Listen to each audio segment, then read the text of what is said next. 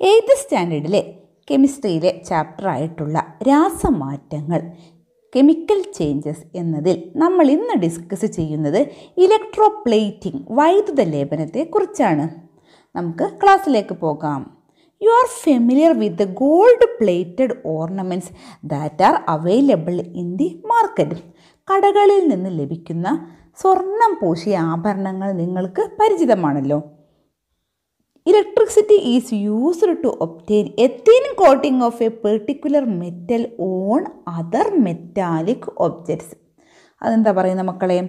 Electricity is used വൈദ്യുതി ഉപയോഗിക്കുന്നുണ്ട്. എന്തിന്?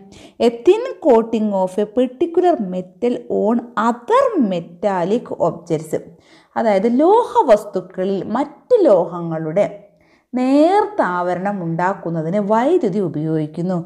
ഒരു ലോഹത്തിന് മോൾ അല്ലേ ഒരു മെറ്റാലിക് ഒബ്ജക്റ്റിന് മോൾ മുകളിൽ മറ്റൊരു പെർട്ടിക്കുലർ മെറ്റലിന്റെ മറ്റൊരു മെറ്റലിന്റെ മെറ്റലിന്റെ ഒത്തിരി കോട്ടിംഗ് ഉണ്ടാക്കുന്നതിന് എന്തുപയോഗിക്കുന്നുണ്ട്? വൈദ്യുതി ഉപയോഗിക്കുന്നു.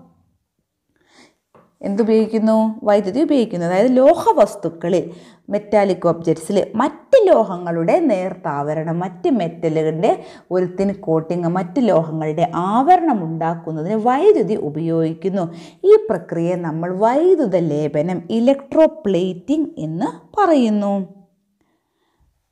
Electroplating is an electro chemical reaction electroplating വൈദ്യുത ലേപനം എന്താണ്? ഒരു വൈദ്യുത രാസപ്രവർത്തനമാണ്. നമുക്ക് ചിത്രത്തിലേക്ക് പോകാം. Observe the figure which shows the arrangement of coating silver on and iron ring എന്താ പറയുന്നത്? ഈ ഒരു ഇരുമ്പ് വളയിൽ ഒരു അയൺ റിങ്ങിൽ എന്താ ചെയ്തത്? വെള്ളി പൂശുന്ന സിൽവറിന്റെ കോട്ടിങ് കൊടുത്തിരിക്കുന്ന ഒരു ക്രമീകരണം. ഒരു പിക്ചറാണ് നം ഒരു ഫിഗറാണ് ഇവിടെ കാണുന്നത്. നമുക്ക് ചിത്രത്തിലേക്ക് പോകാം. നോക്കിയേ മക്കളെ ഇരുമ്പ് വള അയൺ റിങ് ഒരു ബാറ്ററി കൊടുത്തത് കണ്ടോ? ബാറ്ററിയിൽ പോസിറ്റീവ് നെഗറ്റീവ് എന്ന് അടയാളപ്പെടുത്തി എല്ലാവരും കണ്ടില്ലേ? ആ നെഗറ്റീവ് അല്ലേ നെഗറ്റീവ് ബാറ്ററിയുടെ നെഗറ്റീവ് ടെർമിനലുമായിട്ടാണ് എന്ത് കണക്ട് ചെയ്തിരിക്കുന്നത്? ഇരുമ്പ് വള അയൺ റിങ് പോസിറ്റീവ് ടെർമിനലുമായിട്ടാണ് എന്ത് കൊടുത്തിരിക്കുന്നത്? സിൽവർ റോഡ് അതായത് വെള്ളി ദണ്ട് എന്തുമായിട്ടാണ് കണക്ട് ചെയ്തിരിക്കുന്നത്? ബാറ്ററിയുടെ പോസിറ്റീവ് ടെർമിനലുമായി കണക്ട് ചെയ്ത് കണ്ടോ? ഇവിടെ ഇലക്ട്രോലൈറ്റായിട്ട് ഉപയോഗിച്ചിരിക്കുന്ന സൊല്യൂഷൻ എന്താണ്? A mixture of silver cyanide and sodium cyanide solution silver സയനൈഡിന്റെയും sodium സയനൈഡിന്റെയും ലായനികളുടെ ഒരു മിശ്രിതം ഇവിടെ ഒരു ഇലക്ട്രോലൈറ്റായിട്ട് ഇവിടെ ഒരു ലായനിയായിട്ട് എന്ത് ചെയ്തിട്ടുണ്ട്? ഉപയോഗിച്ചിട്ടുണ്ട്. നമുക്ക് നോക്കാം. The silver rod and iron ring are connected to the battery as shown in figure എന്താണ്? ഒരു വെള്ളി വെള്ളിത്തകിടും ഇരുമ്പ് വളയും. വെള്ളി സിൽവർ റോഡ് വെള്ളി തകിട് അതുപോലെ തന്നെ അയൺ റിങ് ഇരുമ്പ് വളം. Are connected to the battery അതെന്ത് ചെയ്തിട്ടുണ്ട്? ചിത്രത്തിൽ കാണുന്നത് പോലെ ഒരു ബാറ്ററിയുമായി ബന്ധിപ്പിച്ചിട്ടുണ്ട് അല്ലേ? ബാറ്ററി കണ്ടോ മക്കളെ? മുകളിൽ പോസിറ്റീവ് നെഗറ്റീവ് എന്നൊക്കെ കൊടുത്ത കണ്ടില്ല? അതാണ് battery. When switched on the iron ring gets covered with a thin layer of silver metal switch on ചെയ്യുമ്പോൾ ഇരുമ്പ് വളയിൽ അയൺ റിങ്ങിൽ എന്ത് സംഭവിക്കുന്നു? വെള്ളി ലോഹത്തിന്റെ സിൽവറിന്റെ നേർത്ത പാളി ആവരണം ചെയ്യപ്പെടും. When switch on the iron ring gets covered with a thin layer of silver metal ഇരുമ്പ് വളയിൽ അയൺ റിങ് കവർ ചെയ്യപ്പെടുന്നു. എന്തിനാൽ? Thin layer of silver metal ഒരു വെള്ളി സിൽവർ മെറ്റലിന്റെ ഒരു തിൻ ലെയർ അതിന്റെ ഇതിന്റെ മുകളിൽ? ഒരു ഇരുമ്പ് വളയുടെ മുകളിൽ അയൺ റിങ്ങിന്റെ മുകളിൽ കവർ ചെയ്യപ്പെടുന്നു. സ്വിച്ച് ഓൺ ചെയ്യുമ്പോൾ ഇരുമ്പ് വളയും വെള്ളി ലോഹത്തിന്റെ നേർത്ത പാളി ആവരണം ചെയ്യപ്പെടുന്നു. ഇനി മക്കളെ if copper is to be coated ഇപ്പം നമ്മൾ പറഞ്ഞു സിൽവറാണ് സിൽവറാണ് ഇരുമ്പ് വളയിൽ പൂശുന്നത്. ഇതിന് പകരം നമ്മൾ കോപ്പറാണ് നിങ്ങൾക്ക് പൂശേണ്ടതെങ്കിൽ കോപ്പറാണ് പൂശേണ്ടതെങ്കിൽ എന്താണ് ഉപയോഗിക്കേണ്ടത്? Copper sulphate solution and a copper rod instead of silver rod should be used അങ്ങനെ നമ്മൾ കോപ്പറാണ് നമുക്ക് നിങ്ങൾക്ക് പൂശേണ്ടതെങ്കിൽ കോപ്പർ സൾഫേറ്റ് ലായനിയാണ് സൊല്യൂ ലായനിയായിട്ട് ഉപയോഗിക്കേണ്ടത്. അങ്ങനെയാണെങ്കിൽ നമ്മളിവിടെ mixture of silver cyanide and sodium cyanide solution ഇല്ലേ? അതിന് പകരം കോപ്പർ സൾഫേറ്റ് സൊല്യൂഷൻ ഉപയോഗിക്കാം. അതുപോലെ തന്നെ ഇവിടെ സിൽവർ റോഡിന് പകരം ഏത് റോഡ് ഉപയോഗിക്കണം? കോപ്പർ റോഡ് ഉപയോഗിക്കണം. കോപ്പറാണ് പൂശേണ്ടതെങ്കിൽ കോപ്പർ സൾഫേറ്റ് ലായനിയും വെള്ളിക്ക് പകരം കോപ്പർ തകിടുമാണ് ഉപയോഗിക്കേണ്ടത്.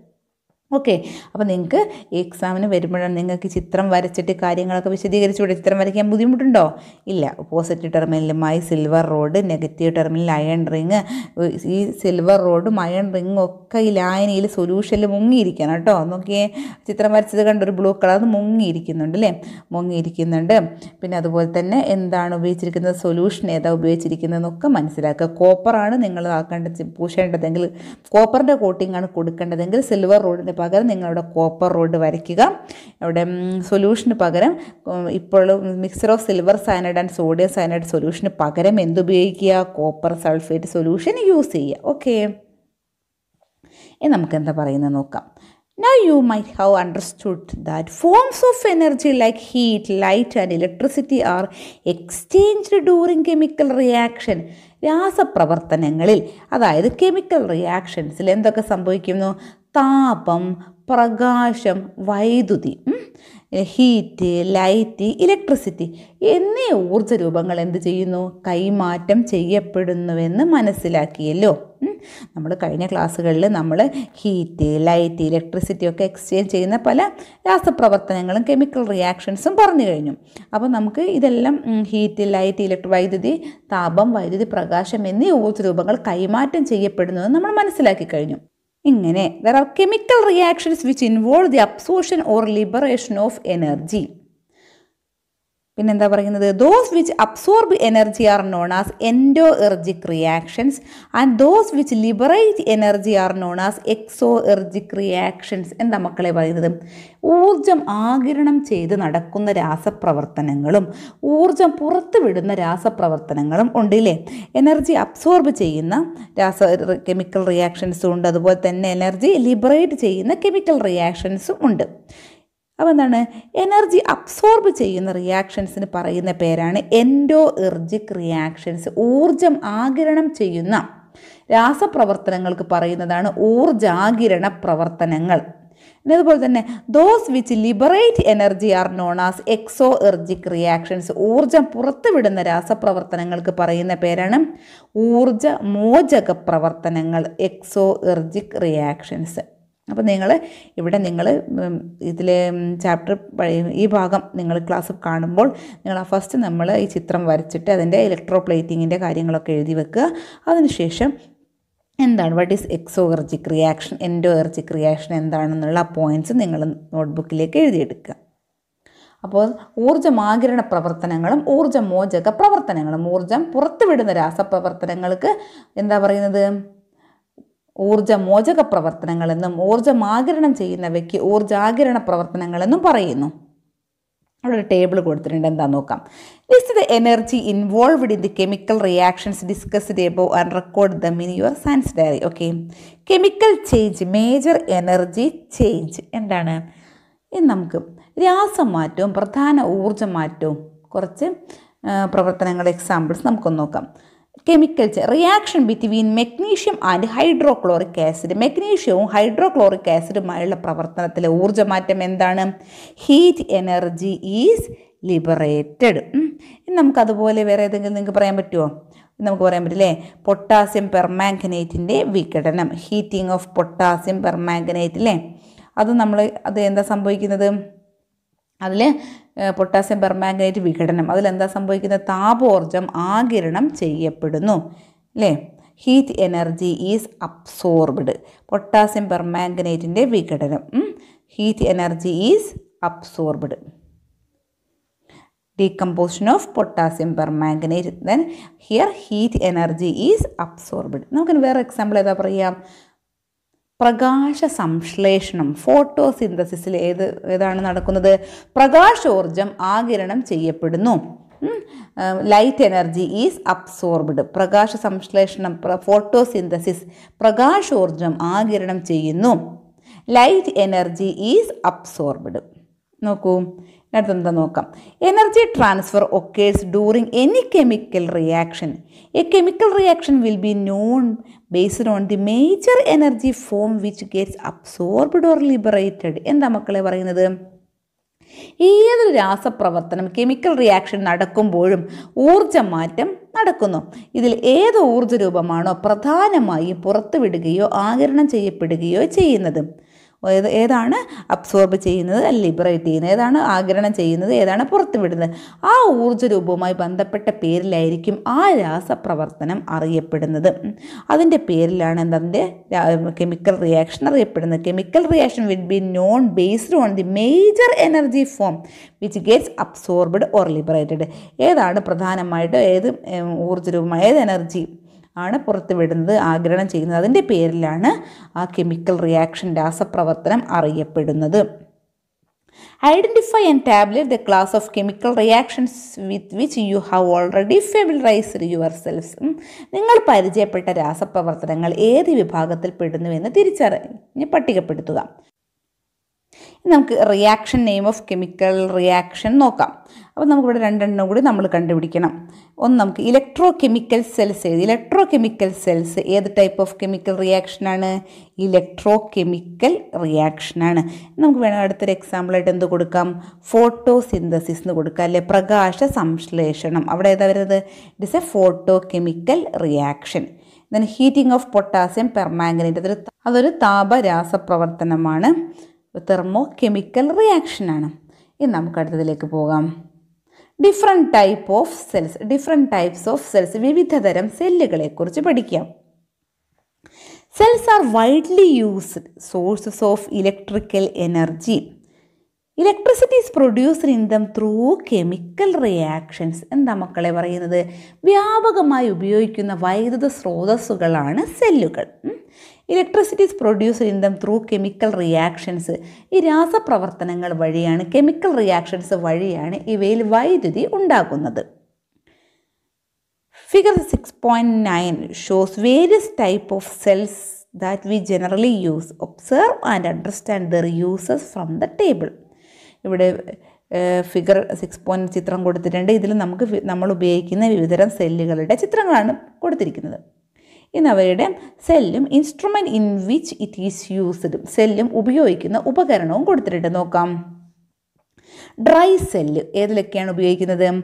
റേഡിയോ ക്യാമറ ക്ലോക്ക് ടോയ്സിലൊക്കെ ഉപയോഗിക്കുന്നുണ്ട് അല്ലേ? ഇനി mercury cell mercury cell എന്തിലൊക്കെയാണ്?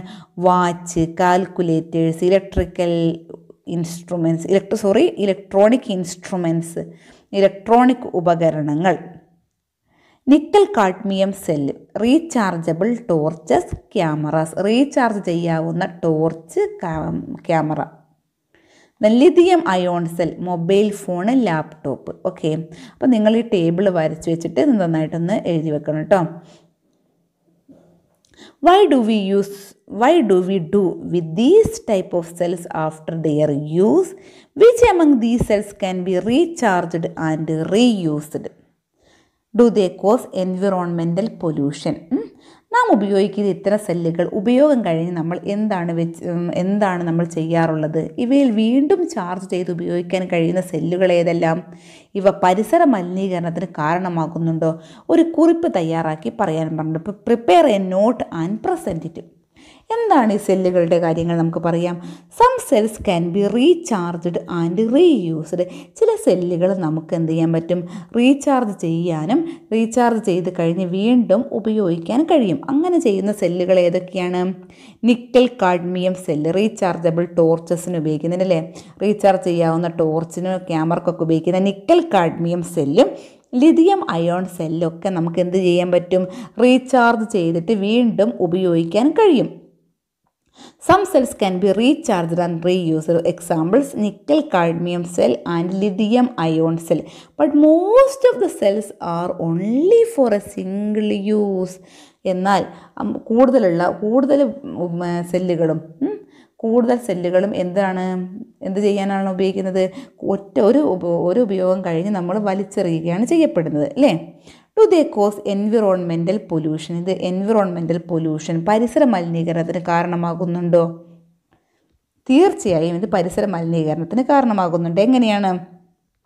Throwing out the used and damaged cells creates environmental pollution എന്താണ്? Throwing out the used and damaged cells creates the environmental pollution വലിച്ചെറിയപ്പെടുന്ന use ചെയ്യ നമ്മൾ use ചെയ്തതും അതുപോലെ തന്നെ യൂസ് ചെയ്ത് കഴിഞ്ഞതും കേടായതുമായിട്ടുള്ള സെല്ലുകൾ പുറത്തേക്ക് വലിച്ചെറിയപ്പെടുമ്പോൾ അത് പരിസര മലിനീകരണത്തിന് കാരണമാകുന്നു. എൻവിറോൺമെന്റൽ പൊല്യൂഷന് കാരണമാകുന്നു.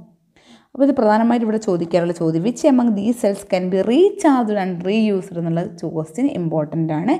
എക്സാമിന് വരാറുണ്ട്. ഏതൊക്കെയാണ് lithium ion cell and nickel cadmium cell നമുക്ക് അടുത്ത ഭാഗത്തേക്ക് പോകാം.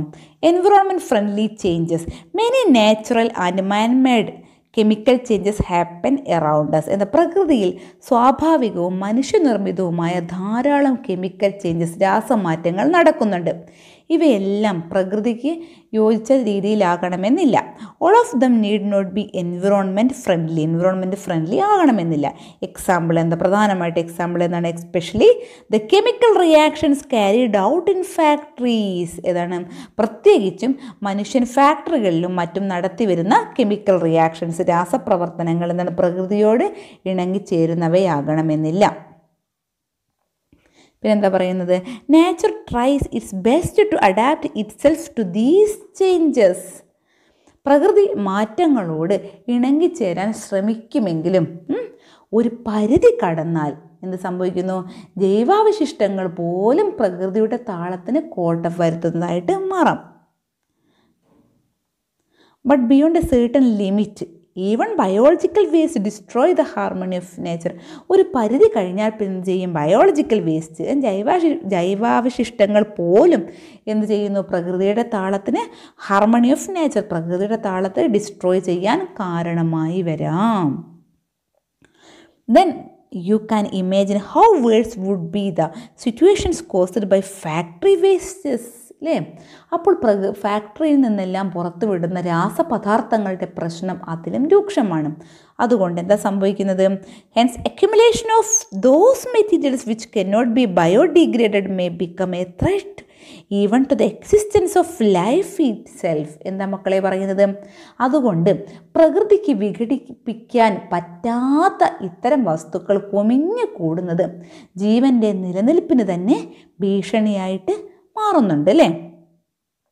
For sake for the sake of posterity is it the duty of each one of first to protect the earth from getting polluted വരും തലമുറയ്ക്ക് വേണ്ടി ഭൂമിയെ മലിനമാകാതെ സൂക്ഷിക്കേണ്ടത് നമ്മുടെ ഓരോരുത്തരുടെയും കടമയാണ്. Hence there should be effort to maximise the conversion of such non decomposable and polluting materials to environment friendly materials this should be one of the aims of studying science എന്താണ്? അതിനാൽ പ്രകൃതിക്ക് വിഘടിപ്പിക്കാൻ പറ്റാത്ത വസ്തുക്കളെയും പ്രകൃതിയെ മലിനമാക്കുന്ന കെമിക്കൽസ് രാസവസ്തുക്കളെയും പരമാവധി പ്രകൃതി സൗഹൃദ വസ്തുക്കളാക്കി മാറ്റാനുള്ള ശ്രമങ്ങൾ ശാസ്ത്ര പഠനത്തിന്റെ ഒരു ലക്ഷ്യമായിരിക്കണം. അത് എന്താണ് ലക്ഷ്യം? എന്താണ് പറയുന്നത്?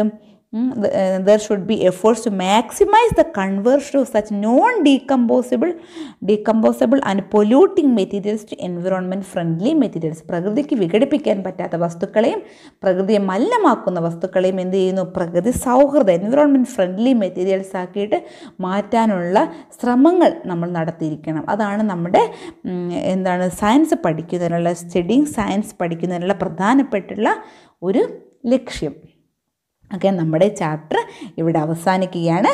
അടുത്ത ക്ലാസ്സിൽ നമുക്ക് ലെറ്റസ്റ്റ് അസസിലുള്ള വിലയിരുത്തലുള്ള പ്രോബ്ലംസ് ഒക്കെ ചെയ്ത് നോക്കാം. അപ്പോൾ ഇന്നത്തെ ക്ലാസ് എല്ലാവരും നന്നായിട്ട് കേട്ട് ശ്രദ്ധിച്ച് കേട്ട ശേഷം നോട്ട്ബുക്കിലേക്ക് എഴുതിയെടുക്കേണ്ടതാണ്. ഓക്കേ